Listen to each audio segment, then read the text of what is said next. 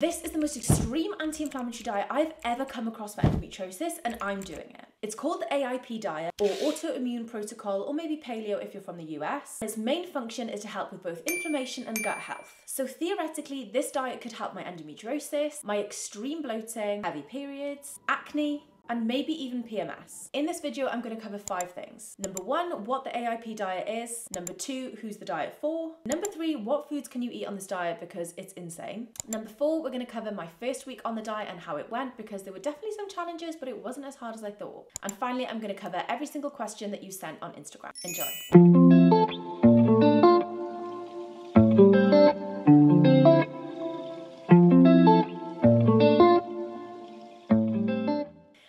Everyone, my name is Sophie and I have endometriosis and I've been struggling with the symptoms of it for over 10 years now, but I am absolutely determined to get to the bottom of my symptoms because especially over the last three to four years, I've realized how much of an impact diet and lifestyle has on my endometriosis. And then obviously since blogging about it on Instagram and TikTok, so many of you have said exactly the same thing. So recently I was at an endometriosis retreat run by a company called Hold Wellbeing. It was absolutely phenomenal. Um, and there was an endometriosis specialist there and also a hormone coach. I will tag the hormone coach here because she's on Instagram and TikTok too. Um, and they were talking about the autoimmune protocol, or like I said in the intro, paleo diet, maybe if you're from America. Um, and it was basically all about giving yourself an inflammatory and a gut reset. But the nature of the diet is a huge elimination process. And I'm going to take you through what that is in part three of this video.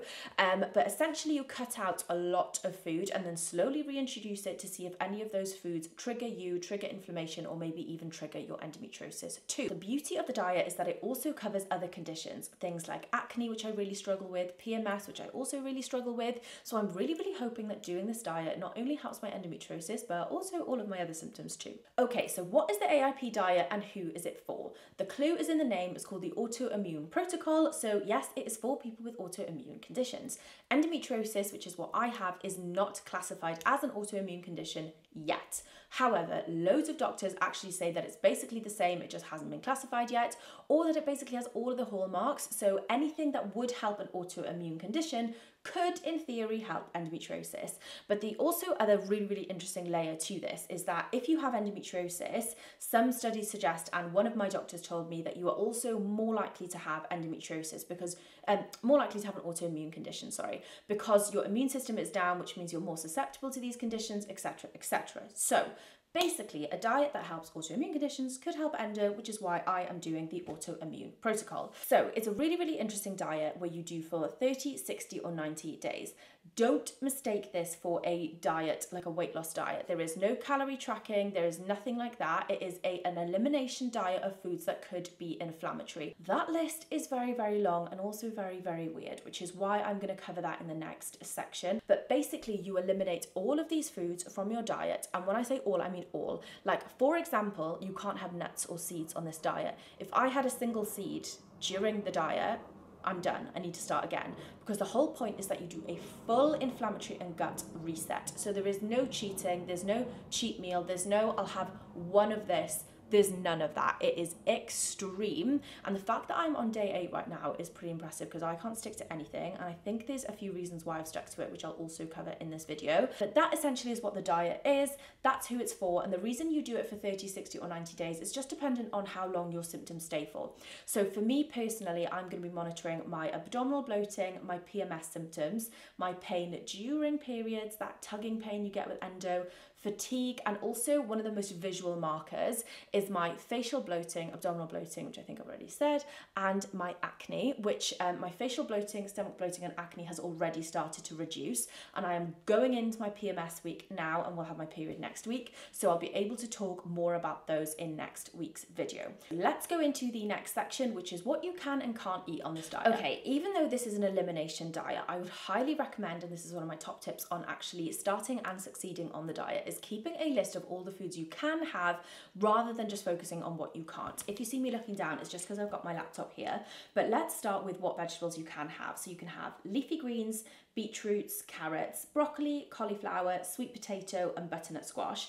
Basically anything as long as it's not a nightshade vegetable. So I had heard of nightshade vegetables before, and I assume that you have too if you are on this video, but I didn't really know what they were. So if you want a list of those, I can give you them now. Tomatoes, potatoes, um, but white potatoes. So white potatoes are a nightshade, you can't have them, but sweet potatoes you can.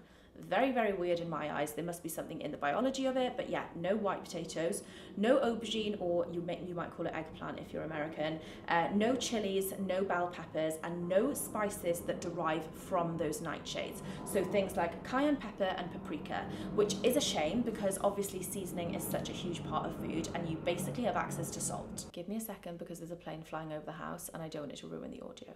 Okay, I think we're safe. So hopefully you see where I'm coming from. You can basically have all vegetables as long as they're not a nightshade. So that's a really long list of what you can have anyway. Um, but also when you're in the supermarket or before doing your um, shopping list, I would highly recommend just Googling, is this insert vegetable a nightshade and Google will tell you.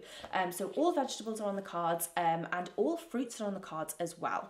Um, again, as long as they're not nightshades. Um, one caveat with fruit is that a lot of papers suggest that you don't overload on fruit, especially high glycemic index um, fruits. So things like bananas, things like apples, and that was an error that I made in my first week, which I'll mention at the end. I started snacking on those things because my sugar cravings were just like going insane. Um, because spoiler, no sugar, no processed food on this diet.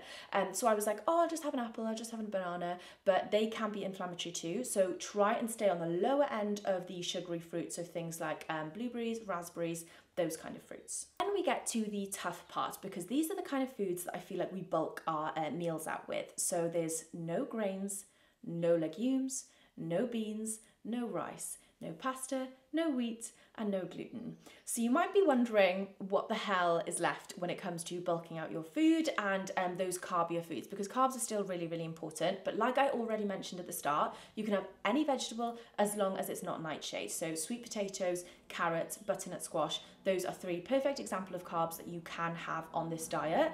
But as I mentioned, no processed. So no pasta for a long time. Oh my God, there's another plane. I don't know if you can hear this. Okay, but it is good news when it comes to meat and fish. You can have any type of meat, any type of fish, any type of organ meat if that's your jam. I'm trying to get into organ meats because it's really, really good for you. But just the thought of eating liver makes me feel sick. But then I always love like duck liver, like pate. So I need to find a AIP friendly liver recipe. If I find one, I'll share it.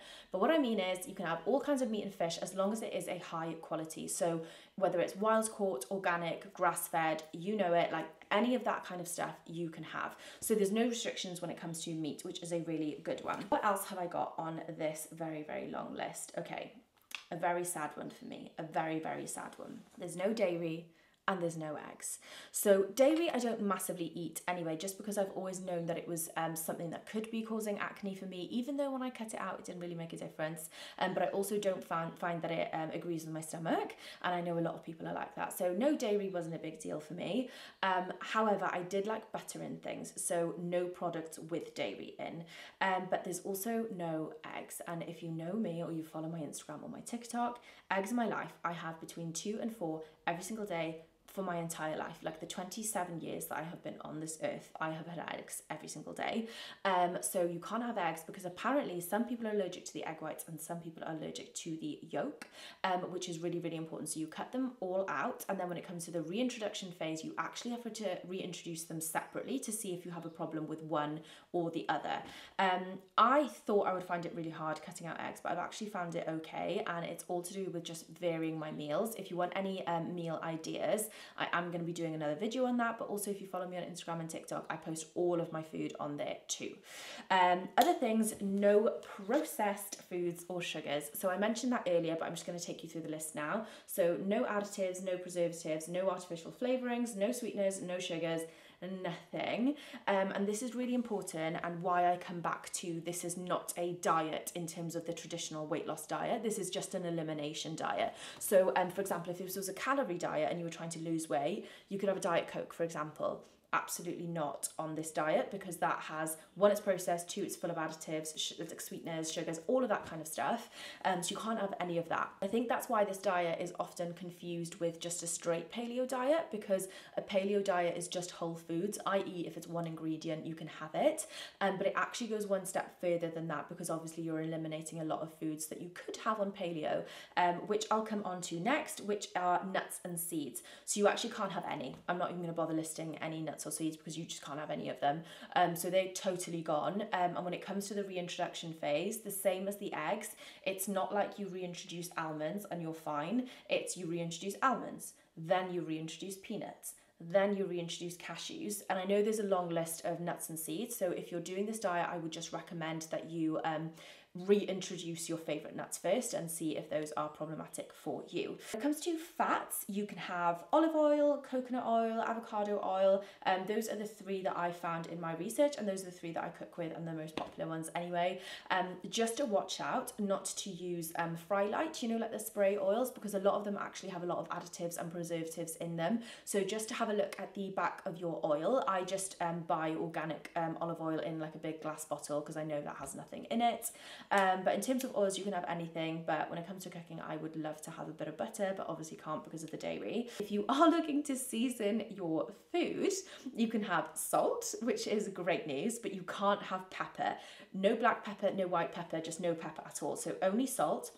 You can have um, any kind of leafy um, herbs, so like basil, um, coriander, thyme, like all of those things you can absolutely have, like the leafier kind of things or herbs, but you can't have any spices because they um, traditionally derive from things from the nightshade family or they might have pepper in, for example. So I think I already mentioned cayenne pepper, paprika, um, chilies, um, that kind of stuff. But again, like I said earlier, when you're making your shopping list, just Google is and then insert whatever you want to use um, okay on the AIP diet and Google will give you the answer. Essentially with spices, just think, is it a leaf? Is it a herb? And you'll be fine.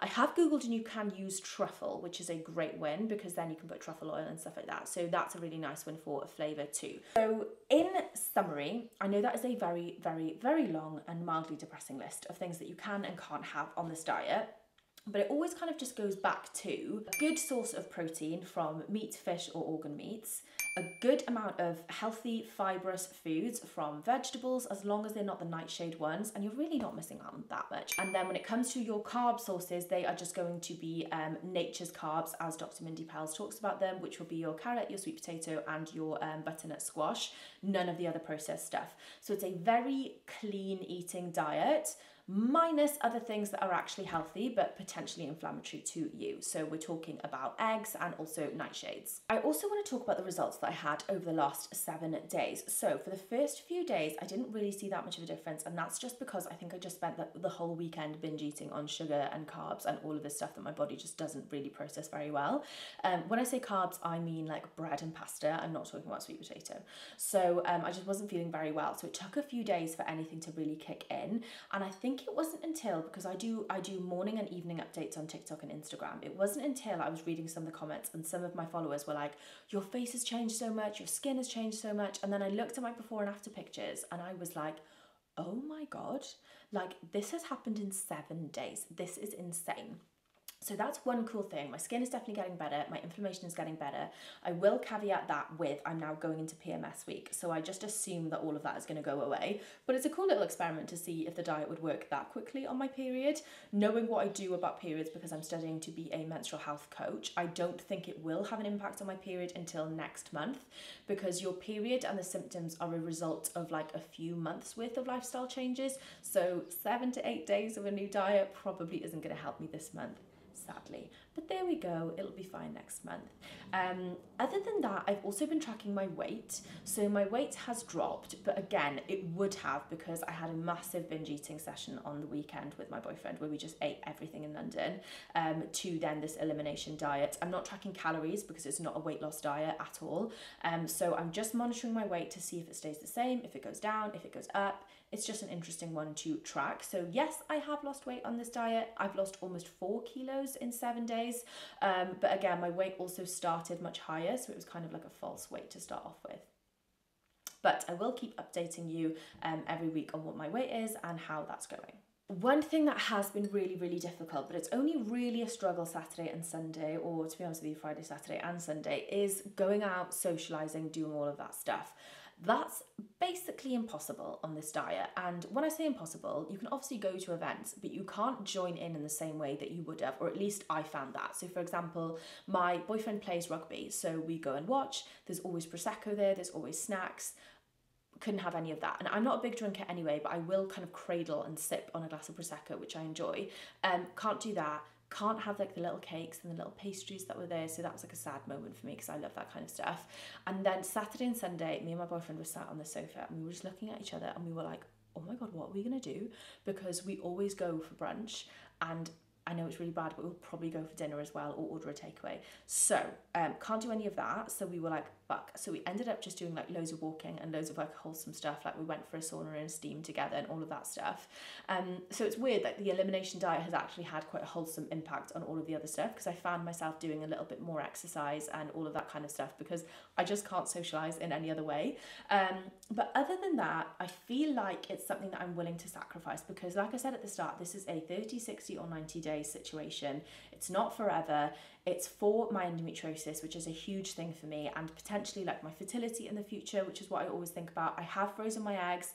Um, I'm going to make lots of content on that, so I'm not too stressed about my fertility, but I would like to be able to conceive naturally, and I know that a huge part of that is managing inflammation. So that's how the first week went. I know from my DMs and comments on Instagram and TikTok, a lot of people want to see like more of vlog style content rather than a sit down chat after this video. So all of this week, I'm going to be bringing you along, making my meals with me. I'm going to show you how I batch cook because that's been a huge game changer for this diet in terms of like meal prepping. Because I feel like when you don't meal prep on something like this, that's when you might slip up. Um, I'm going to share how my gym sessions are going because they are so up and down right now because my energy has been so low on some of the days that I've got got to the gym and I've barely done anything. So I'll document more of that and just basically bring you along a little bit more um, and especially show you what food I'm eating because I've given you like a long list of foods, but when it comes to making those into interesting meals, it can be really, really difficult. And I've absolutely nailed it. I'm going to put on the screen a couple of my favorite meals that I have made slash my boyfriend has made on this diet. They've been unbelievable and I just feel like I haven't been missing out at all, which I think is again, I mentioned I was going to share tips on how to start and succeed on this diet. It's absolutely absolutely a tip is to make sure you have really tasty food that makes you feel like you're not missing out. Okay, and as promised, the final part of this video is answering all of the questions that you sent to me on Instagram. Um, so let's get to it. Can you have matcha? No, it's part of the whole green tea leaf, which you can't have. Um, how to do it when you're trying to build muscle at the gym, for example, 140 grams of protein per day, honestly, this diet, my protein has never been higher, which is odd because I love Free Soul protein powder. I used to have it every single day and I can't have it as part of this elimination process. I love it. It's going to be one of the first things I reintroduce, but I was worried about my protein intake. But because in the morning I can't have my eggs, I've had to swap it for things like chicken or um, turkey mince, and my protein intake has actually been much higher. Um, so don't worry about protein intake. Um, is dairy or eggs, um, can it cause, sorry, I'm just trying to understand this question. Okay, so basically, can you have dairy and eggs? No, unfortunately, you can't because they do upset some people's tummies. Um, so they are cut out of the diet, and then, of course, after you're done with the diet, you reintroduce them separately. Um, so you would do like egg whites, then you would do egg yolks, and then you would do dairy. So you could start with milk, then go on to yogurt, etc., etc. Um, can I do a shopping list? So yes, absolutely I will do a shopping list and that's going to actually be in my vlog video because I'm going to bring you to the supermarket with me with my long list which is actually going to be a shopping list for all of the meals. So I'll give you a weekly rundown of my meals and then also a weekly shopping list to go with those meals. So yes, no problem at all. Are you cutting out all grains, including corn and rice? Yes, I am. It's part of the diet, unfortunately. So basically, all of my carbs are sweet potato, carrots, and butternut squash. Um, can you share a list of foods to avoid and also meal ideas? Yes, so food to avoid, I've already answered, and meal ideas, um, I've actually made a highlight on Instagram of all of the meals that I've been doing. But like I said, next week is going to be a vlog, all of the foods. So, yes, just subscribe, comment, like, and it will be in the next video. Um, what exactly can you eat? Already covered that. Um, exactly what you can eat. Yes, so everyone wants to know what I'm eating. So, I'll make sure that I prioritize that in the vlog video. Can you do it on your own or do you need a dietitian for that. So this is totally up to you. I would highly, highly, highly, highly recommend that you do it with someone. I am training to be a menstrual health coach and it's actually part of the course that I'm doing and I'm also doing so much research around it. So I feel pretty comfortable doing it around, um, doing it on my own, sorry, because I track my food so I know if I'm having enough protein, carbs, like veg, all of that kind of stuff. And um, if you're not confident, I would genuinely, genuinely recommend getting a health coach and someone that I would recommend is the person that I tagged at the start of this video, Kirsty. She's brilliant.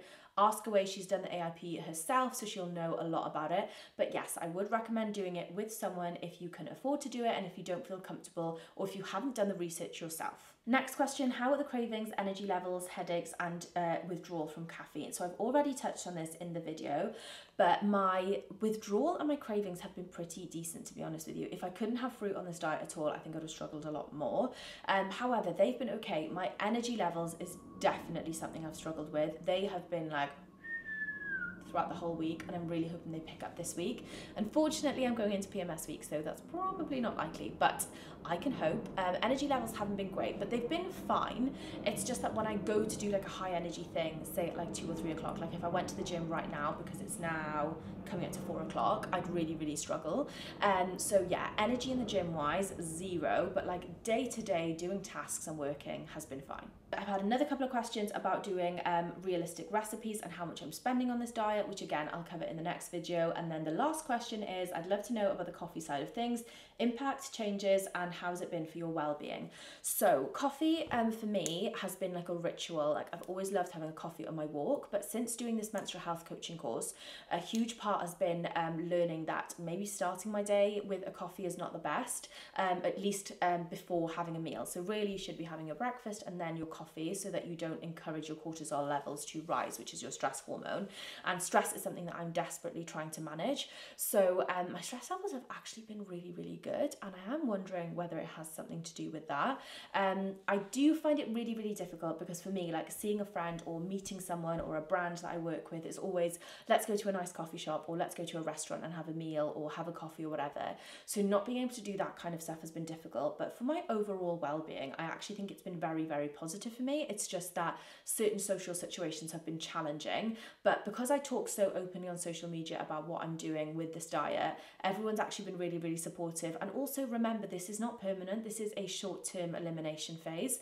Um, if this was like a forever lifestyle change, I think I'd be pretty depressed right now not being able to have all of those foods. So overall, it's been going really, really well. Thank you again for all of your questions and also for watching this video. If you do have any questions, just comment them below on this video and follow me on Instagram and TikTok. I'm super, super active on there and I can reply to you really, really quickly because I only come onto YouTube once a week to upload these videos and reply to your comments. So definitely give me a follow over there. And thanks again for watching. If you are starting the AIP diet, best of luck. It could be one of the best things you for your endometriosis. I'm absolutely finding out that myself.